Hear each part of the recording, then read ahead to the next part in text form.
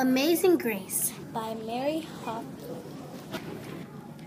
Grace was a girl who loved stories. She didn't mind if they were read to her or told to her or made up in her own head. She didn't care if they were in books or movies or out of Nana's long memory. Grace just loved stories. After she'd heard them, and sometimes while they were still going on, Grace would act them out, and she always gave herself the most exciting part. Grace went into battle as Joan of Arc, and wove a wicked web as Anansi the spider.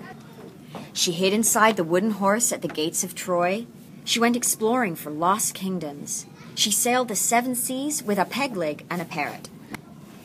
She was Hiawatha, sitting by the shining big sea water, and Mowgli in the backyard jungle.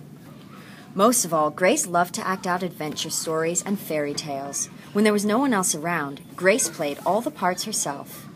She set out to seek her fortune with no companion but her trusty cat and found a city with streets paved in gold. Or she was Aladdin, rubbing his magic lamp to make the genie appear. Sometimes she could get Ma and Nana to join in when they weren't too busy. Then she was Dr. Grace, and their lives were in her hands. One day, Grace's teacher said they would do the play Peter Pan. Grace knew who she wanted to be. When she raised her hand, Raj said, You can't be Peter. That's a boy's name. but Grace kept her hand up. You can't be Peter Pan. Whispered Natalie, He isn't black. but Grace kept her hand up, All right. said the teacher. Lots, lots of you want to be Peter Pan. So we'll have auditions next week to choose parts. She gave them words to learn. When Grace got home, she seemed sad. What's the matter? Us, Ma. Raj said I can't be Peter Pan because I'm a girl. That just shows what Raj knows. said Ma.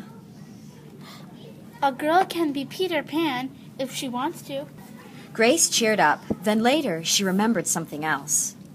Natalie said I can't be Peter Pan because I'm black. Sh- She said.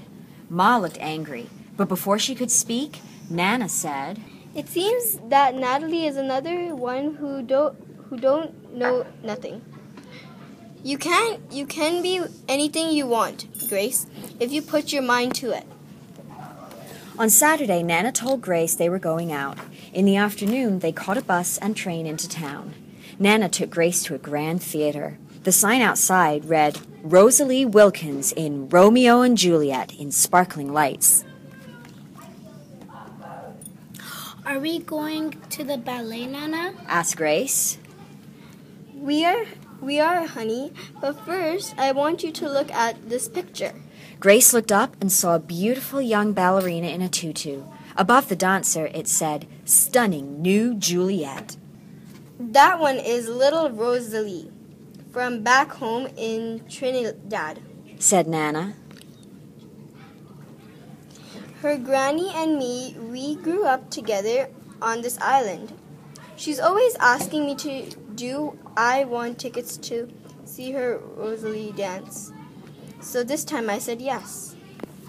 After the ballet, Grace played the part of Juliet, dancing all around her room in her imaginary tutu. I can be anything I want, she thought.